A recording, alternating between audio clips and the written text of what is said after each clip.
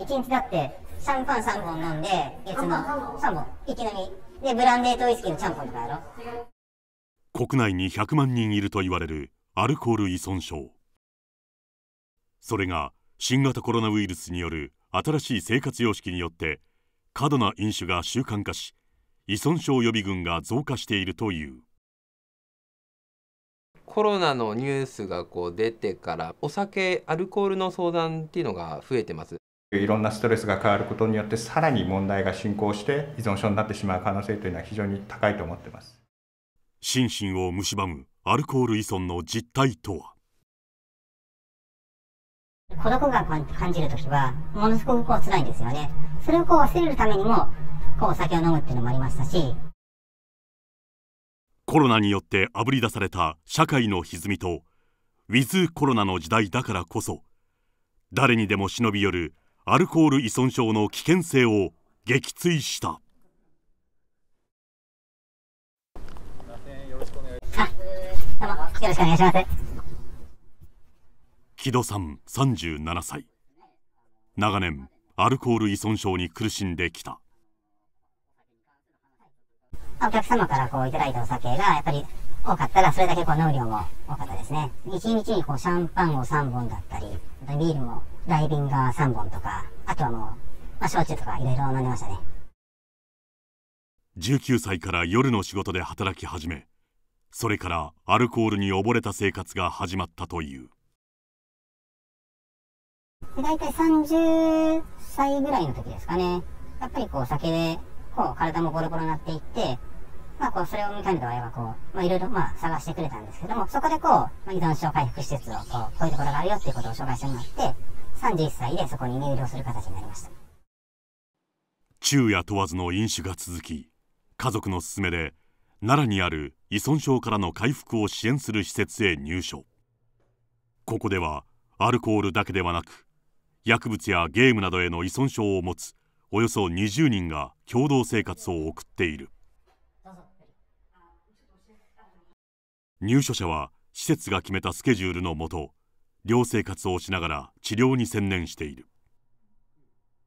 木戸さんは2年半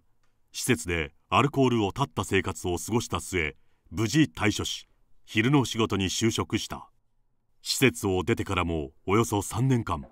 アルコール抜きの生活を送っていたのだが、まあ、コロナ騒動でやっぱりこうまあ、普段こう休みの日とかですね、外にこう行けないとかっていうのもありましたし、やっぱりこう家で過ごす時間が増えたと。そこでこう、まあ、お酒がこう冷蔵庫にあったらね、こう一本飲んでしまうっていう、それがこう、だんだんだんだん量が増えていってしまって、止まらなくなりましたね。飲酒の量が増えた頃から、自らの意思で再び施設へ。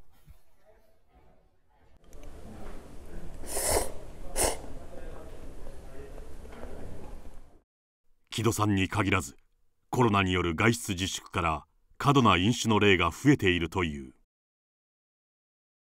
全国9カ所の支援拠点を持ち木戸さんが入所するワンネスグループの相談窓口にはコロナでシフトが減り狩猟が増えた在宅時の狩猟が増えたといった相談が寄せられている。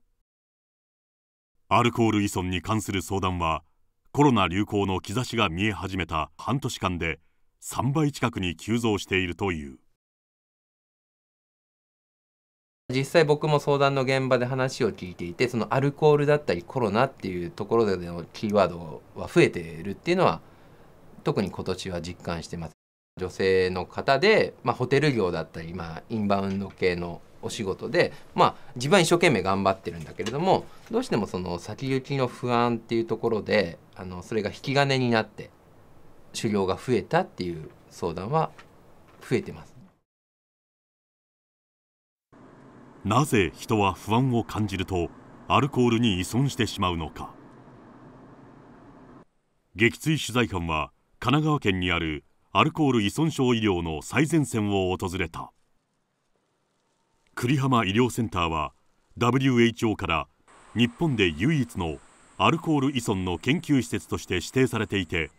甲子園球場3個分以上の広大な土地を有する。精神科医の前里さんはアルコール依存症の患者を17年間診察してきた。アルコール依存症って割とありふれた病気です。で生活習慣病の一つでですねお酒を飲む人だったら誰しもかかる可能性のある病気です。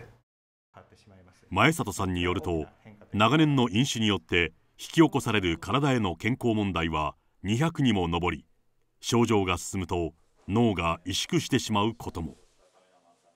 皆さんのアルコール依存症のイメージって主乱ですよね。はっきり言って飲んで暴れる人イコール依存症みたいな方なんイメージだと思うんですけどほとんどの依存症の方というのはですね一人で引きこもって静かに飲むタイプの方が多いですよね。普通のサラリーマンが一番多いんですよ。コロナの感染拡大のような社会的なストレスが増えると人はアルコールに依存してしまう危険があるという。飲み始めの頃は依存症の方でも楽しいお酒なんですけれどもだんだんだんだん病気が進んでくるとですね楽しいから飲むのではなくてその嫌な気分を少しでも紛らわすためにお酒を飲むという薬みたいな飲み方に変わっていきます。一方コロナの影響は治療の現場にも及んでいるこれまで依存症の兆しがある患者の多くは病院を訪れていた。しかしコロナの流行によって感染を恐れ診察を受けない患者が増加しているという。その結果依存症の悪化が危惧されている。病院を訪れずに症状の進行を防ぐ試みも。栗浜医療センターと IT 企業キュアアップが共同開発しているのがスマートフォン向け減酒支援アプリだ。このアプリはすでに公開されている禁煙アプリを応用しどれくらい飲んだか何が原因で飲んでしまうかをアプリに記録。専門医がそのデータを解析し治療にも役立てることを目指している。実際に専門医療機関に相談に行くっていうところには結構大きなハードルがあるかなというふうに思っていまして簡単に手に取れるようなですねサービスを提供できればいいなというふうに考えています。この減酒支援アプリは来年にも実用化を目指している。娘さんのお酒の問題でお母さんが苦労したことってどんなことがありますか？何度も入院退院を繰り返して、うん、そして退院してくると、うん、またこそこそと飲んじゃうってことの繰り返しで、うん、こちらではアルコール依存症などの患者を家族に持つ人たちがお互い学び合う家族会がオンラインで開かれています。アルコール以外にも薬物などの依存症と患者への対応について家族が学ぶ場所家族会。これまでは週に1回定期的に大阪などで開催されてきたがコロナの感染リスクのため開けていない。そのため3月からはオンラインで会合を開いている。うちは薬物なのであの本当に墓場までね誰にも言わずにあの誰にも相談しちゃいけないって思ってる私がちょっと聞いてくれますかって言えるその雰囲気場であったり。これまで実際に会ってできていた相談ができない今オンラインでも人とつながれることの意味は大きい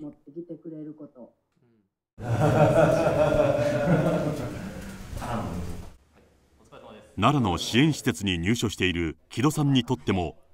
仲間との辛い経験の共有が支えになっている。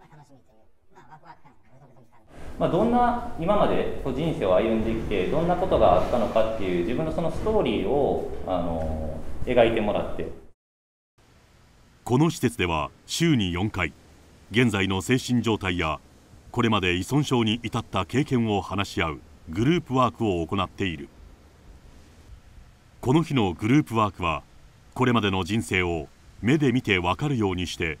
依存物との関わりについて隠し立てせず発表し合った。結構失踪癖があってまあいいかなってこう一人で車乗って山奥行ってお酒買ってね。山奥でこう一人でお酒飲みながらマジで、まあ、このまま死んでもいいかなってなるんだけど。でも寂しいことだね。そうやねこうした仲間の存在が依存症の歯止めになると木戸さんは言う